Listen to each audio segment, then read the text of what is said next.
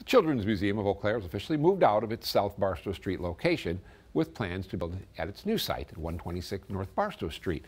But as the museum prepares for its 2022 changes, what's to come of the now vacant building? January 31st, Mac Real Estate bought the property for $1.05 million. Mac Real Estate is owned by Charlie Marquardt, who says he plans to develop it into a multi-use building. The upper level will be occupied by a business not yet announced.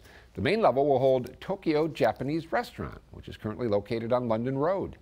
On the lower level, it's going to be an arcade bar with like retro arcade games. Really, it's a pure nostalgia play, like 80s and 90s arcade games and a bar. Marquardt says construction will start in May or June and finish by December.